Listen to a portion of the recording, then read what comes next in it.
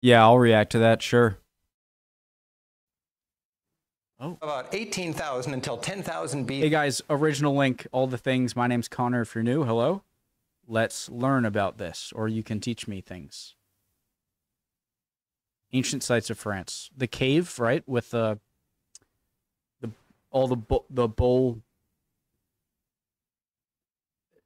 Neolithic site. What is it called? I forget, but it's really old. Let's learn. BC, long before Stonehenge. How old? From about 18,000 until 10,000 BC, long before Stonehenge and the pyramids, back when mammoths and saber-toothed cats still roamed the earth, prehistoric people painted deep inside caves in this part of Europe. These weren't just crude doodles, but huge and sophisticated projects, executed by artists and supported by an impressive culture, the Magdalenians. They look like giant nostrils. Sorry.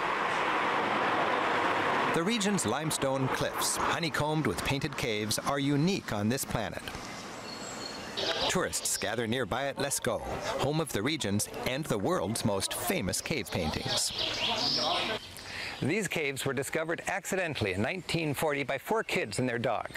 Over the next couple decades, about a million visitors climbed through the prehistoric wonderland, inadvertently tracking in fungus on their shoes and changing the humidity and the temperature with their breathing. In just 15 years, the precious art deteriorated more than in the 15,000 years before that. The caves were closed to the public. Damn it. Visitors can now experience the wonder of Lascaux by touring an adjacent replica. So it's near it. When their time comes, visitors are called to meet their guide for a look at the precisely copied cave called Lascaux 2. Any, has anyone we been are here? in the auction room, the most spectacular room of Lascaux. It's a sacred place. We don't live in a church. They never lived in the caves. And it's a huge composition. It's a calculated composition because they have taken uh, advantage of the strip of rock to relate in a certain Love this guy's voice. Yes. Uh, I'm curious how clear it was prior, or like when the first people stumbled upon it. Um, like, okay, all right. They have taken uh, advantage of the strip of rock to relate in a circle two Oh wait, this is the replica. I'm an idiot. Advantage of the strip of rock to relate in a circle two groups of bulls facing each other. And in the center of this composition, they have united the three principal animals of Lascaux, horse, ox, and deer. Is this a hunting scene? No, it's not a hunting uh, scene because on the walls the hunter doesn't exist. They never tell the everyday life.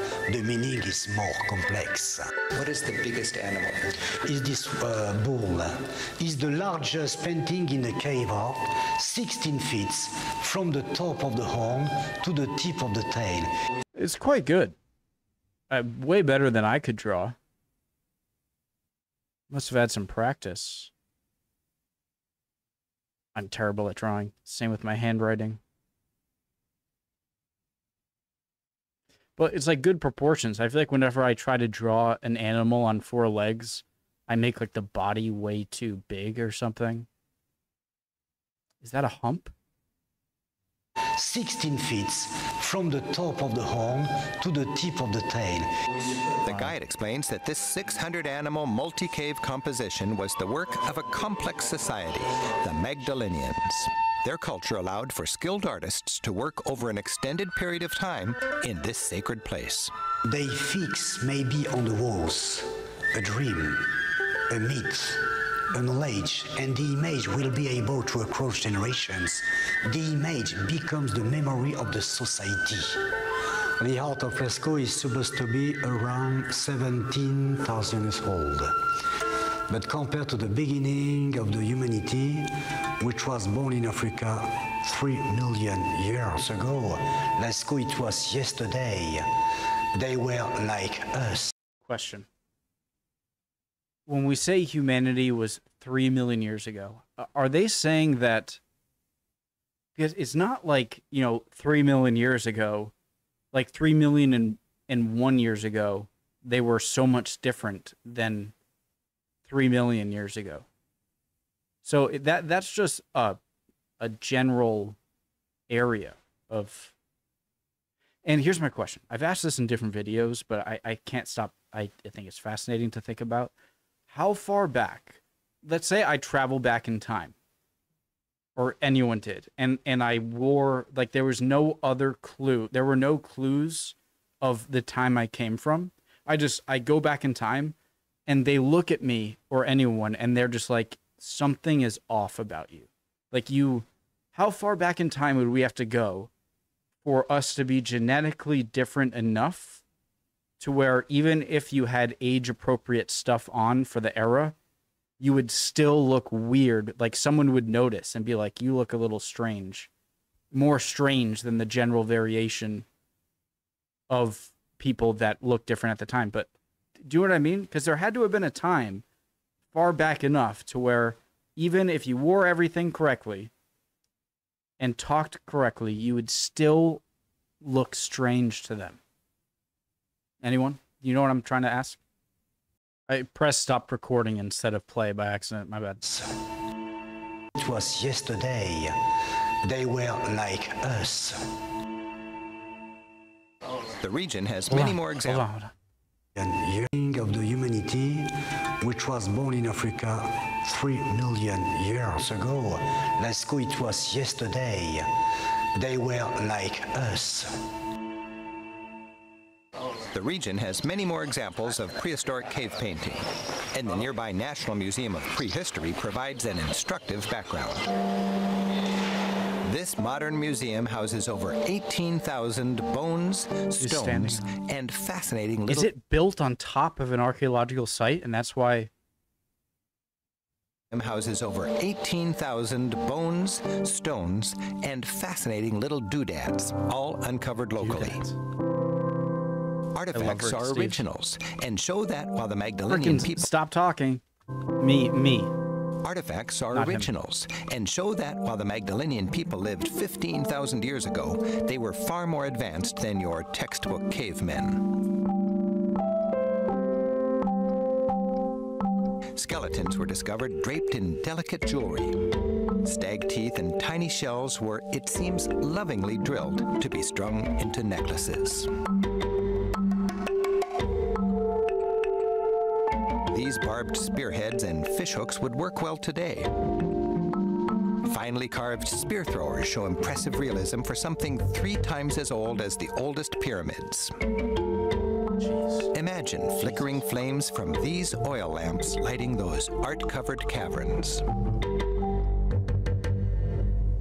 Today, as we ponder Like the prehistoric caves and the artifacts of the Magdalenian people here I'm assuming like animal fat lamps. Today, as we ponder the prehistoric caves and the artifacts of the Magdalenian people here in the Dordogne, we can marvel at how much we actually have in common with these people and how sophisticated their culture was so long ago.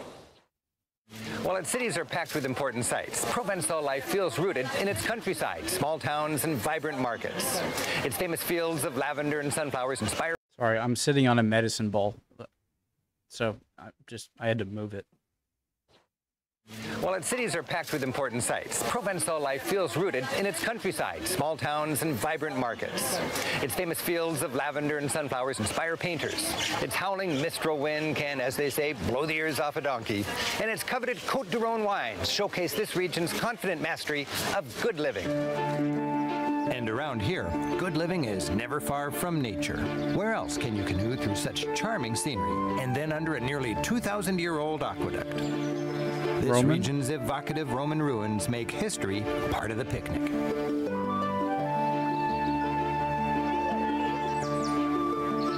The Pont du Gard reminds us that throughout the ancient world, aqueducts were stone flags heralding the greatness of Rome.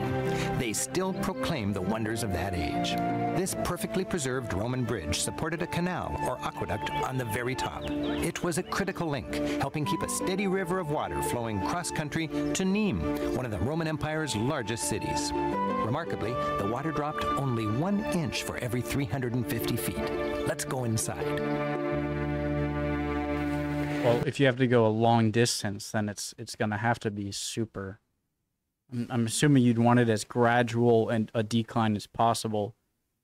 Well, for the water to keep flowing, but so that you could travel as far as possible, unless you got to a certain certain distance and then use like an Archimedes screw or something to lift it back up and then repeat. This is what Roman aqueducts were all about. This is part of a 30-mile-long channel. A man-made river flowed through this for 400 years. You can still see the original stones, a thin layer of mortar that waterproofed the channel, and after centuries of use, a thick mineral buildup. The Pont main arch is the largest the Romans ever built, 80 feet across. The bridge itself has no mortar, just ingeniously stacked stones. Taking full What? advantage of the round arch the Romans invented, it's made strong by gravity. The Pont du There's no cement or anything in between. No more. It's just. Museum. Gravity. I don't believe du that. Gard Museum shows that a steady supply of water was an essential part of the Roman art of living. You'll see some very old plumbing. Walk through a rock quarry and learn how they moved those huge blocks into place and constructed those massive arches. Nope, it was aliens. I, I'm I'm being sarcastic. All this work that. was designed to bring water into the still grand Roman city of Nîmes. The another Colosseum? gushed out here into this modest-looking distribution tank from where it served the thirsty city's needs. Imagine the jubilation on that day in AD 50 when suddenly the system was operational. This is the very end of the aqueduct, and water would tumble out of this hole and fill this pool. Now, the system was designed to prioritize according to how much water was available. If the water level was high, these holes would send water to the homes of the wealthy, to decorative fountains, and to public baths. But if the water level was very low, well, these holes would still send water to the essential neighborhood wells. Genius. Today, the town's many Roman ruins testify to Nîmes' former importance. The Maison I'm so impressed that I know that the weight is distributed, but still, th- this seems like so huge. And is this all solid? It just looks like these uh, an amount of weight that these pillars wouldn't be able to uh, hold, and such beautiful cappings to them. Carrée rivals Rome's Pantheon as the most testified to Nîmes' former importance. The Maison Carrée rivals Rome's Pantheon as the most complete building surviving from the Roman Empire. The temple survived, in part, because it's been in constant use for the last thousand years. The lettering across the front is long gone, but the remaining nail holes presented archaeologists with a fun challenge. Match the pattern of the nail holes to the letter it once held. And they solved the puzzle. They determined that the temple was built to honor Caius and Lucius, the grandsons of Emperor Augustus. And from that information, they dated the temple to the year 4 AD. Wait, I was gonna say, how do you know? How do you know it wasn't like a bigger slab? Uh, It does look like they're kind of uniform around letters, actually. Is that like a K? H? What letters did they use? All right. once held. I'm trying to like qu- actually no, that's incorrect. Obviously, they're they're gonna be right. And they solved the puzzle. They determined that the temple was built to honor Caius and Lucius, the grandsons of Emperor Augustus. And from that information, they dated the temple to the year 4 AD. Nîmes Arena, which is still in use, is considered the best preserved from ancient Rome. It's another fine example of Roman engineering and Roman propaganda. In the spirit of give the masses bread and circuses, admission was free. The emperor's agenda was to create a populace that was thoroughly Roman, enjoying the same activities and the same entertainment. It's awesome because it actually looks, you know, it's it's more complete. I I always was confused with the whenever looking at pictures or videos of the Roman Colosseum, where it it it looked like almost a maze at the bottom, and I was always confused.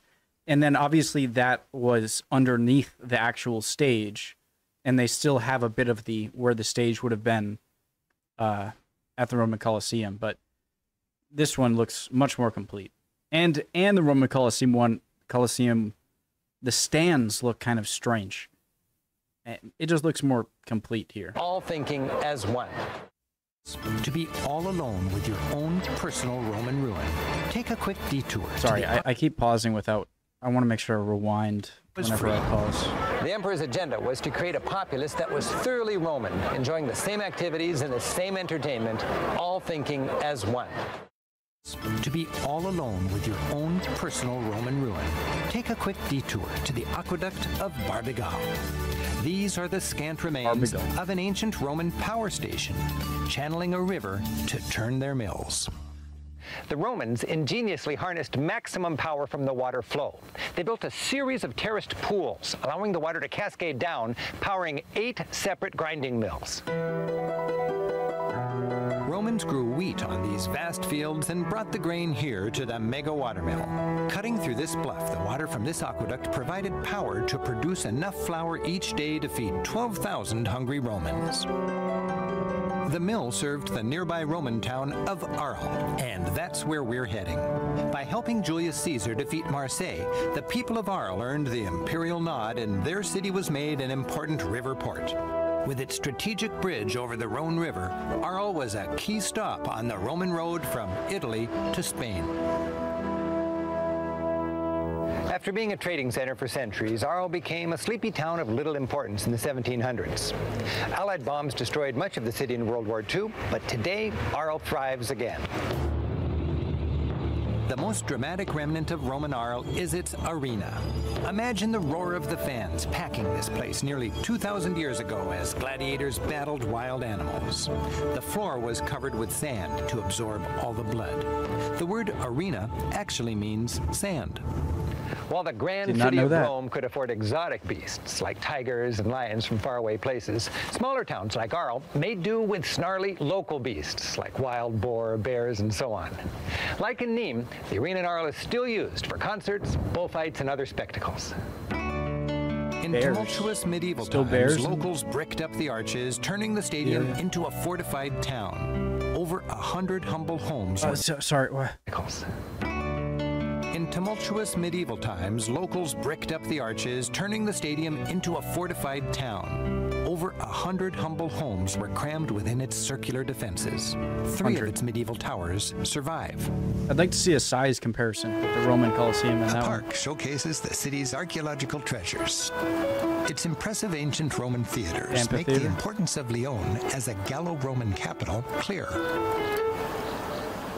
You hear the term Gallo-Roman a lot here in France. The Gauls were the original French tribe. 2,000 years ago, the Romans conquered them and they were assimilated into the vast Roman Empire. In many ways, the France we know today grew from that Gallo-Roman civilization. In the first century, the Roman city of Lyon had a population of 50,000 people, which is four times as big as Roman Paris.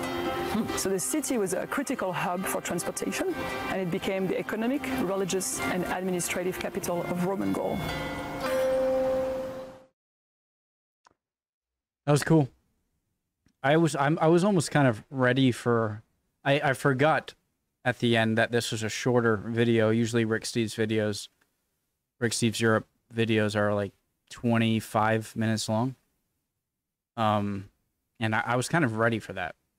Honestly, and I'm kind of upset it was it just ended. Well, that was so really cool. Um, love you all. Hope you guys are all doing well. Would appreciate any comments down below, answering any of the questions I had, any comments at all. Uh, if you've been there or not. Um, if you've been there, I especially want to hear what you have to say. Uh, yeah, so hope you're all doing well. Hopefully, I'll see you guys next time. Bye.